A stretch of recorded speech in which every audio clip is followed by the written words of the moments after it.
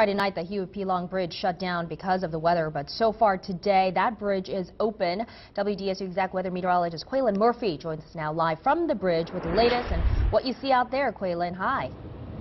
Hey, Sella, standing on the east bank side of the Huey P. Long Bridge, you can see some tractor trailers, a trail of them making their way now across the bridge.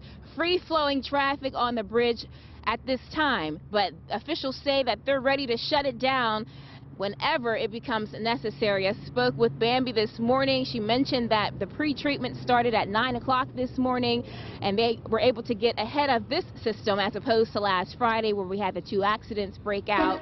And thankfully today, not that scenario at this time, but the thought and the hope is that we'll be able to shut the bridge down before any accidents are able to take place. Right now, as I mentioned, free-flowing traffic. Uh, you just saw the weather, latest weather update from Jay on what's happening on this side. So we do expect uh, to keep you updated as far as that's concerned. Salt trucks on the West Bank side of the bridge at the ready at any moment's notice. Also, some uh, troopers also positioned by. So they are really ready to go. John Young, parish president, uh, is on standby as well. And he's ready to make that official decision whenever it's necessary. But for now, all systems go on the Huey P. Long Bridge in both directions. I do want to make mention that one bridge has been restricted. That's the Lapalco Bridge.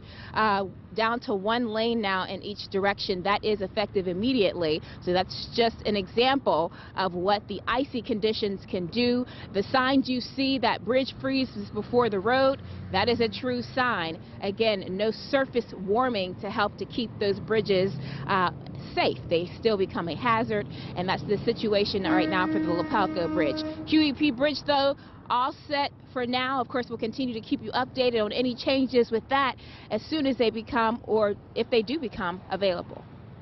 All right, Kweilyn Murphy at Huey P. Long Bridge. Thank you for that update, Kweilyn.